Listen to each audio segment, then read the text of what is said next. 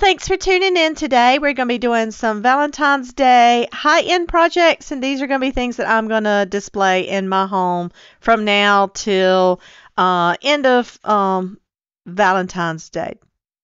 Anyhow, so our first one here, we're going to make a pillow. Now, I am only going to do a half of a heart.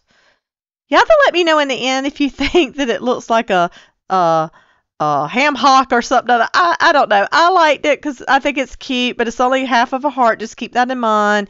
You can use two of these cloths to make a full heart, but I just chose to do the one. So you're going to turn your, um, this is an automotive cloth out of the Dollar Tree, and you're going to turn your right sides together on the inside, and then take a marker or a pen and draw a half of a heart. Then just take your scissors and cut along that line. Just make sure to cut everything out. And I am just using regular Gorilla Glue to um, glue the sides together and make sure you're doing everything with your right sides in.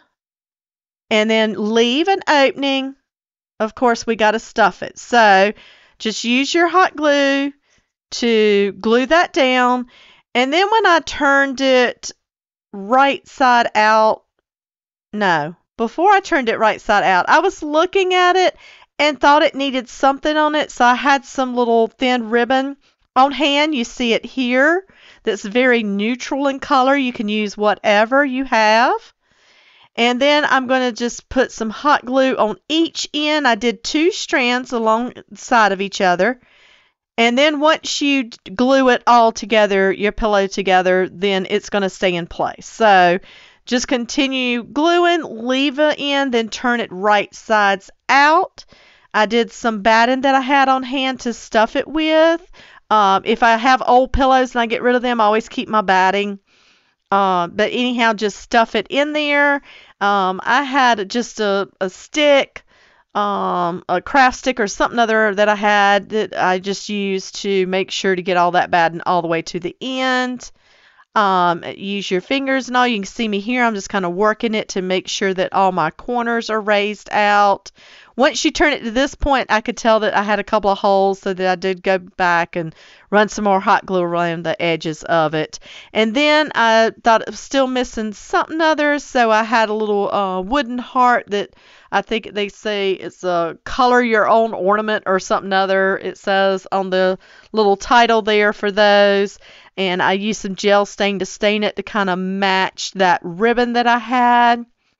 And then I just tied a simple little um, knot through both of those. You'll see me here doing that. And then this project's finished and I think it's adorable, especially stage. But you guys let me know if you would have done the whole heart, if you like the half. Uh, but I thought it was very cute.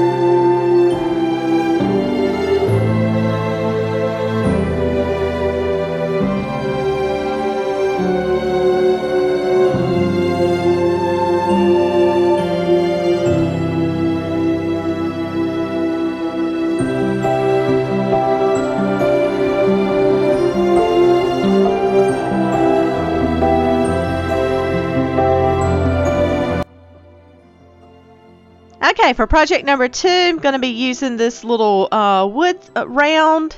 And I love using these. These I found didn't have any holes in them. Sometimes they do. But I'm going to paint it both sides with my uh, white chalk paint. And then I'm going to use these stencils that I'm showing.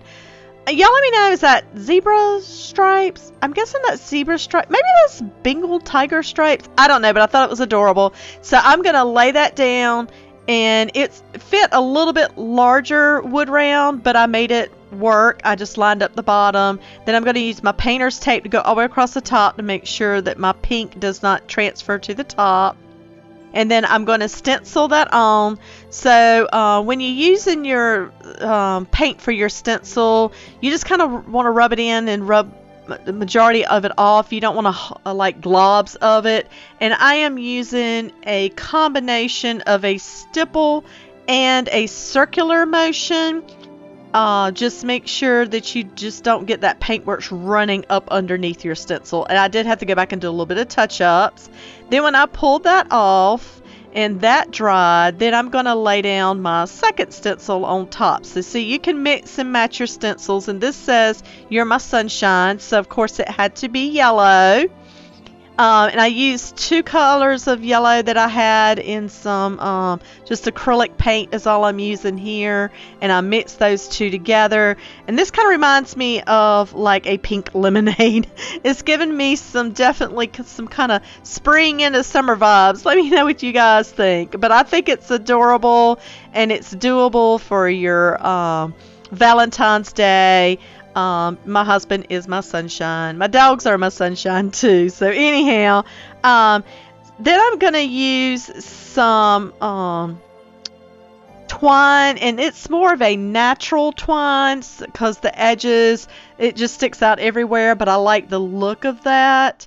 Um, I'm going to use that around the edge. So I did a thin bead of hot glue, probably about every inch, inch and a half to glue it down.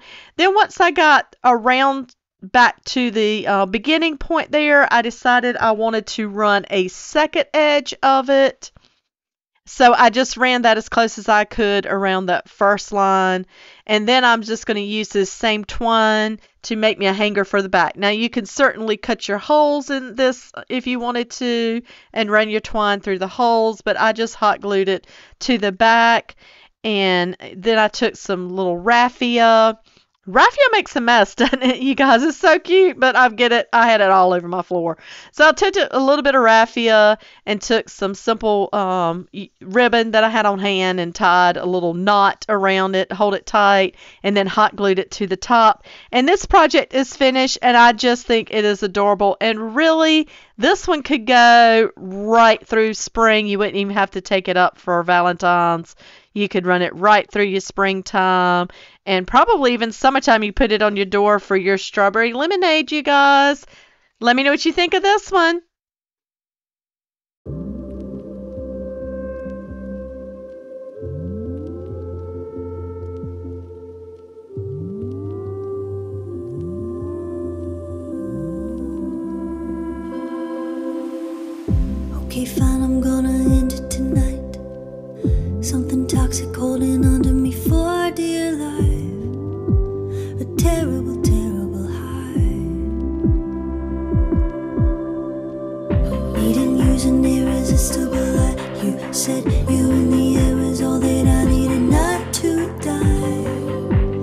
Okay,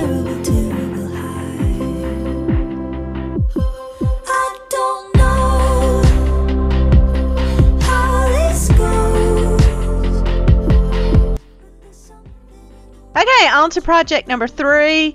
This is my first time using some molds on project and I'm experimenting here, but I really love the way it turned out. I'll be using it more often. So I've got this little crate and I've got some air dry clay left over. This is probably where I did my dog prints for my Christmas tree.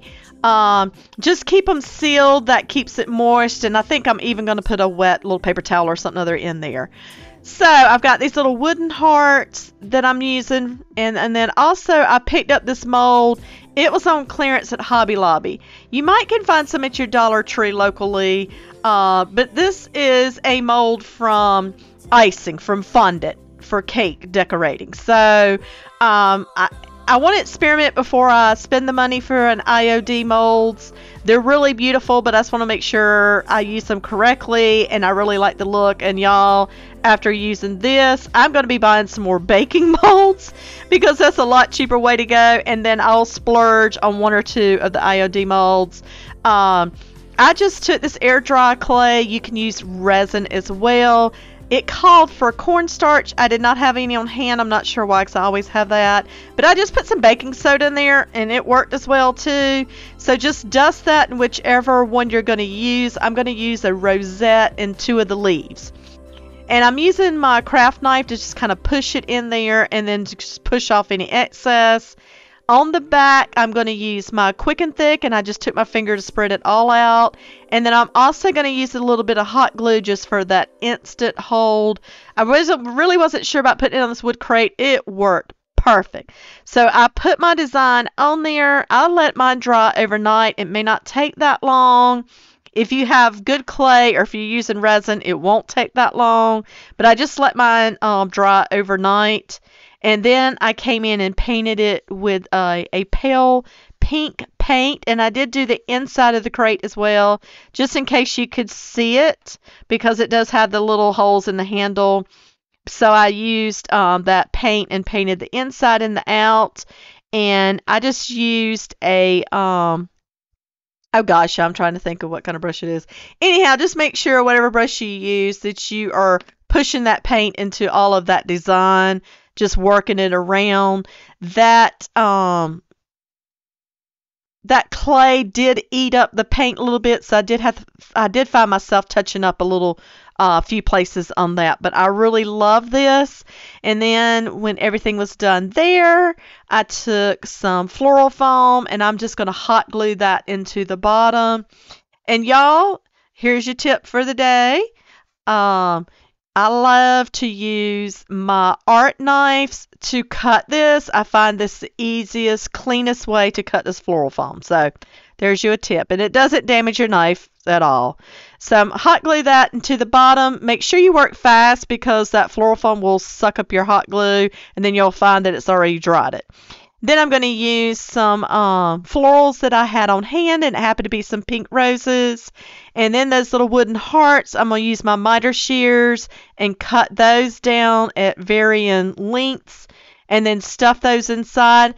And this project was done, and that's pretty easy. Y'all, go try, go find you some baking molds, those little um fondant molds. Try that first, I would suggest. See how you like it like I said, I'm definitely going to be buying some uh, IOD, but um, I'm going to splurge on some of these as well because it's a lot cheaper. I think I paid $2 and something for that mold. I guess it was just going out of stock. Uh, different ones come in. So um, I'm going to be using it over and over because it had some beautiful designs in it.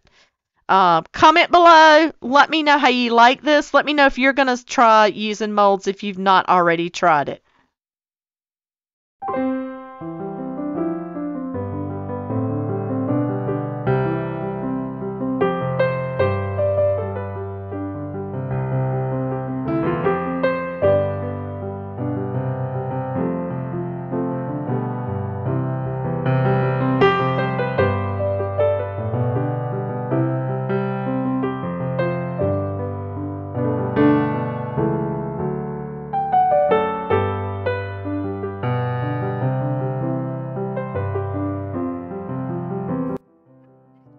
Last project, and you guys, I'm not sure how I did not film the first part. I went back and back on my camera and couldn't find it.